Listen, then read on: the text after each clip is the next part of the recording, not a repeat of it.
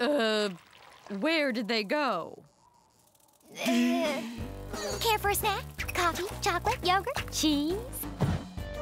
Otherwise, how's it going? Work, the house, the husband, and the dog? What's the dog's name again? Zippy, right? Oh, wait, that's the husband. But that dog is so cute. Ruff, ruff. He sure does love those biscuits, sure your roommate is all there? Don't get me started. He's a little dramatic and tends to overreact. It's all my fault. I take the blame for this. I'm a sorry excuse for a pig.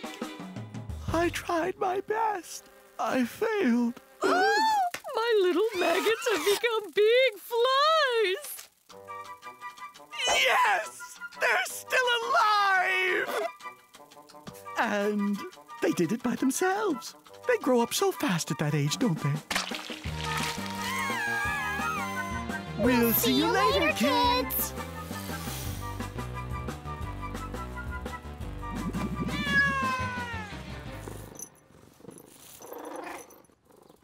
Hmm.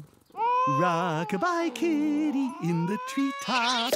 When the pig flies, the cradle will rock. When the branch snaps, the cradle will fall, and down, will come kitty, cradle and all.